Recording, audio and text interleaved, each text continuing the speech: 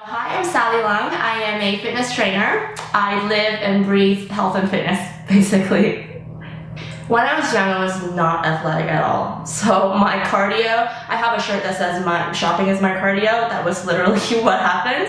Um, I grew up, I'm Chinese, so I grew up in a culture where, you know, especially girls, like I, I play the piano, I study, I don't really go play basketball, soccer, or anything like that. So that was never part of my life.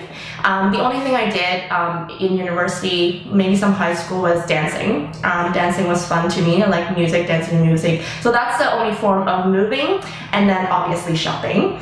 Um, and then when I got to um, choose my university, it was kind of it was very like black and white. I had two options almost. It was like science or business. I didn't like science, so I went into business.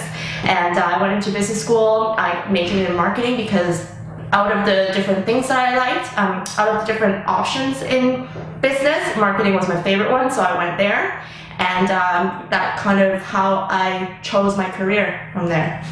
I was um, working as a full-time marketing executive and one day I was just sitting at my desk and I felt aches and pains and I was in my early 20s but I was I felt like I was in a six-year-old body. So I was wondering what is going on. So the next day I went to the gym, I went to sign up for a fitness class and I knew I needed to change.